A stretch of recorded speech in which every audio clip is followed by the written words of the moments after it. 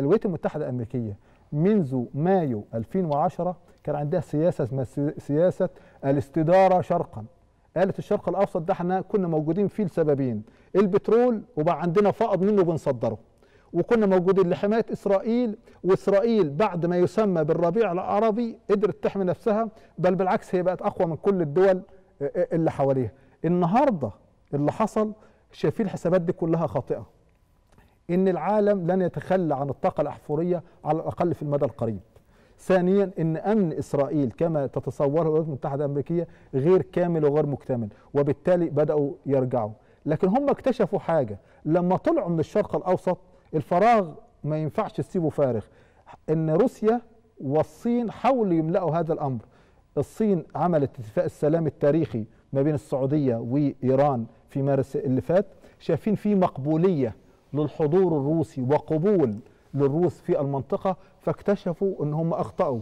زاد من إحساسهم بهذا الخطأ إن إدراكهم للنجاح أو الانتصار في الحرب الروسية الأوكرانية غير مضمون. يعني ممكن أوكرانيا تخسر استراتيجيا قدام روسيا وبالتالي هو محتاج يرجع تاني للشرق الأوسط.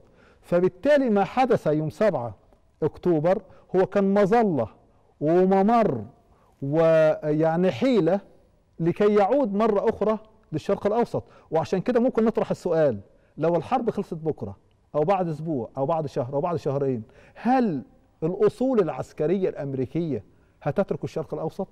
أنا تقديري الشخصي إنه لا. إنهم جاءوا ليبقوا. حتى لا يكون هناك المنافسون اللي لما كان في يعني احتمال إنهم يغيبوا من المنطقة هؤلاء المنافسون المحتملون عادوا وتجذروا وتعمقوا وأصبح لهم مقبولية في الشرق الأوسط. لا هم عاوزين يرجعوا مرة أخرى. وأفضل باب ممكن يرجعوا منه هو الباب الإسرائيلي. لأن إسرائيل أستاذ يوسف هي مخزن للسلاح الأمريكي في المنطقة وفي العالم. أمريكا في حرب أكتوبر وده ليه علاقة بحرب أكتوبر بالمناسبة. في حرب أكتوبر الولايات المتحدة الأمريكية عملت جسر لإسرائيل في الحرب. الحرب خلصت. طب السلاح يعمل إيه؟ كان الطبيعي يرجع للولايات المتحدة الأمريكية. فكروا قالوا لا إحنا نعمل مخازن للأسلحة الأمريكية في إسرائيل. فإسرائيل دولة مهمة جدا لأن في ناس بتسأل ليه أمريكا بتعمل كل ده لإسرائيل؟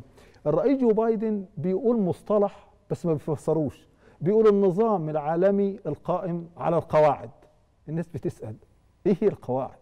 القواعد هو نظام القائم على مصالح الدول المنتصرة في الحرب العالمية الثانية إن لازم هذه المصالح تبقى وتستمر. طب إيه اللي يضمن إن هذه المصالح تبقى وتستمر؟ إحنا فاكرين إن إسرائيل قامت في مايو 1948 يعني بعد الحرب العالمية الثانية بثلاث سنوات. فهي جزء من هذه القواعد.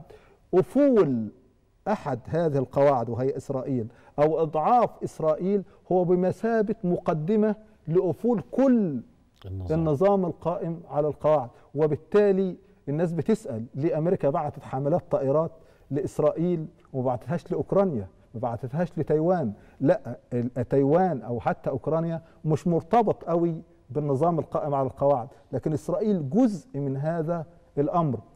لكن الدور المصري يا أستاذ يوسف أنا في رأيي في هذه الأزمة كان دور بالفعل مبدع وبدون أي يعني مزايدة. الدور المصري كان مبدعا بحق. ليه يا أستاذ يوسف؟ شوف النظرة على مستوى الدولي يعني اللي هي أصعب شيء وأصعب بيئة ممكن تشتغل فيها. الأسبوع الأول من من الحرب كل دول العالم مع إسرائيل بالكامل.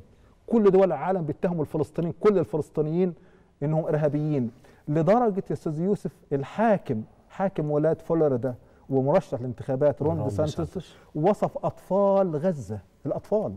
وصفهم بأنهم يعني يكرهون السامية ويكرهون الإسرائيل.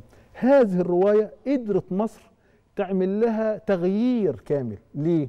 مصر قالت لهم أن ما حدث أو ما يحدث من حرب ليس لم يبدأ في 7 أكتوبر. إن الرواية الإسرائيلية الرواية الفلسطينية فصول المأساة الفلسطينية لم تبدأ في 7 أكتوبر 2023 ده هي بدأت من سبعة عقود وربما قبل ذلك. ده إحنا كان عندنا سنة 1936 الثورة الفلسطينية الكبرى ضد الاحتلال الإنجليزي واللي طالبوه بجلاء الإنجليز وطلبوه بعدم هجرة ال- الإسرائيليين إلى إلى فلسطين. قرار تقسيم فلسطين بالمناسبة مش هو القرار 181 لسنة 1948 ده في لجنة اسمها لجنة بيل وود دي. سنة طبعاً. 36 كانت بتدعو لتقسيم آه، فلسطين. حاجة تانية يا أستاذ يوسف مهمة جدا. حق الدفاع عن النفس بتتحدث عنه إسرائيل. يمكن قبل الهوا كنت بقول لحضرتك لا في المقدمة الخاصة بالأمم المتحدة اللي كتبوها في سان فرانسيسكو سنة 1944 ولا في المادة 51 ويمكن السادة المشاهدين يجيبوا نص المادة دلوقتي 51 من الفصل السابع للأمم المتحدة. ما فيهاش أي حق لدولة محتلة للدفاع عن النفس لا يحق لدولة محتلة أن تدافع عن نفسها. هو مفيش منطق. مفيش منطق.